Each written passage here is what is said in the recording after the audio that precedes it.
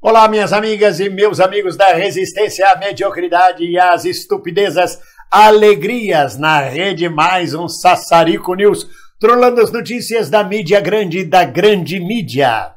Hoje é segunda-feira, 27 de janeiro de 2020. Vejam!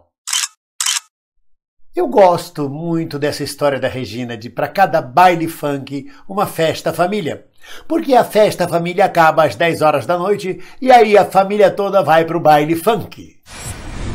As estupidezas e as mediocridades também já chegaram ao governo de mentirinha da Bolívia, que acabou de romper relações com o México, com a Espanha e com Cuba.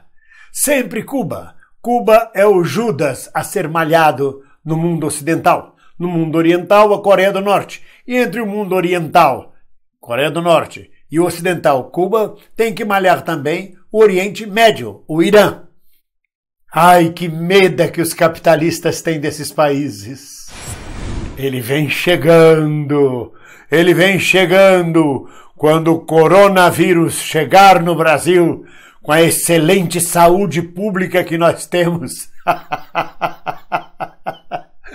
É melhor rir da tragédia e transformá-la em comédia. Não vai ser fácil.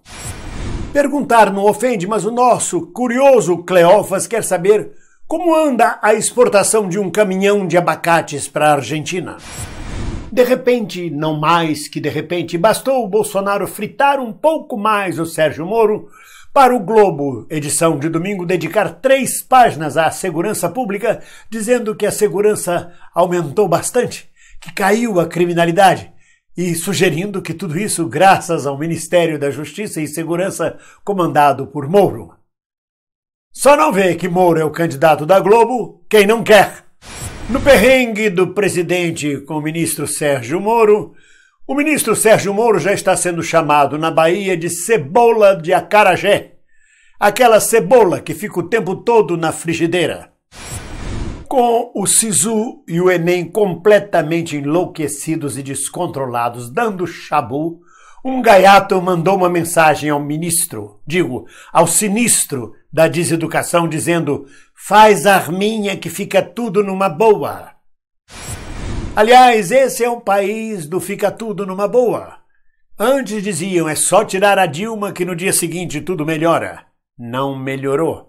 É só fazer a reforma trabalhista que no dia seguinte tudo melhora. Não melhorou. É só fazermos a reforma da Previdência no dia seguinte tudo melhora.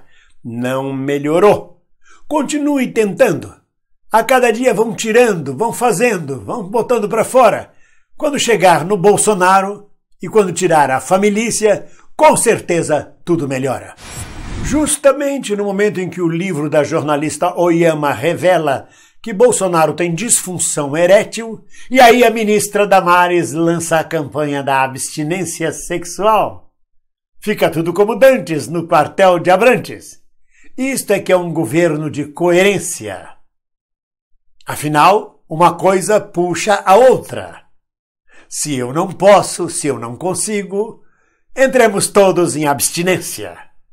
Crisálida Viegas, você que é a nossa especialista em disfunção erétil, o que acha desse novo factoide que acomete o presidente? Cagando e andando.